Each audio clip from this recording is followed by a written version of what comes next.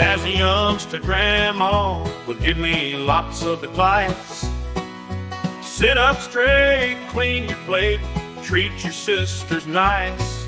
One thing she said I never did clarify, I think I just did not care. Today I could hear her, that's why I said oh, wear clean underwear. Let me explain. Down in Mississippi, they had a squirrel that brought revival. But here in Texas, we have different critters that cause you to fight for survival. Early this morning, Robert, Ed, and I gathered at this church to do repairs. We worked together, laughed a bit, told some stories, giving Jesus all our cares.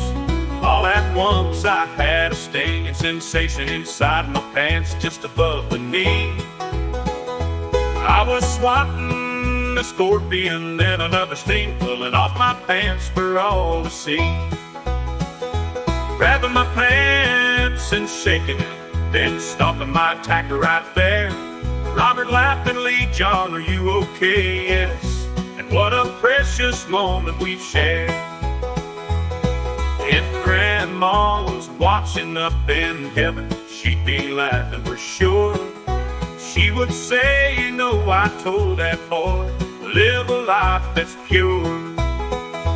You don't know what'll happen, so always wear clean underwear.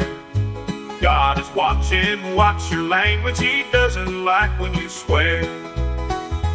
Now I know what she meant all the while. I hope today I made her and all heaven smile.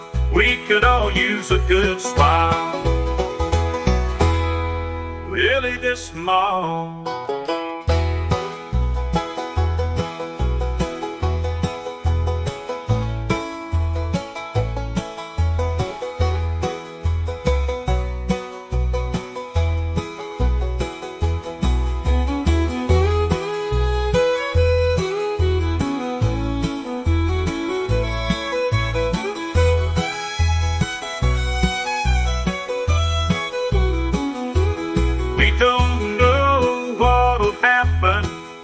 Always wear clean underwear.